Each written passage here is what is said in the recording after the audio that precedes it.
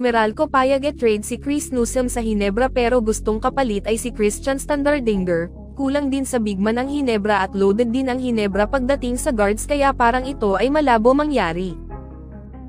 Ito ay isang ideal trade lamang na pupwede sa trade, ito ay tama lang ang aging Stanley Pringle to Chris Newsom. Stanley Pringle, 36 years old habang si Chris Newsom ay 32 years old, number 1 pick at isang number 4 pick, parehong naging Rookie of the Year at Rookie All-Team, parehong nakakuha ng gold medal sa SEA Games noong 2019, pero si Stanley Pringle ay isang 4 times PBA champion, isang time best player of the conference, anim na times PBA All-Star, dalawang times PBA Mythical Team First at Second, at higit sa lahat Nanjing PBA Scoring Champion nung Philippine Cup 2020, habang si Chris Newsom ay naging slam dunk champion. Lamang si Stanley Pringle sa anumang aspeto, lalong-lalo na sa experience pero ito ay nagkakaedad na at galing pa sa injury kaya't bumaba ang numero nito at playing time, Malaking bagay ang tira ni Stanley sa labas malaki ang naitulong nito noong nakaraang Commissioner Cup. Kung sakali man ito ay makuha ng Barangay Hinebra malaki ang maitutulong nito sa opensa at depensa.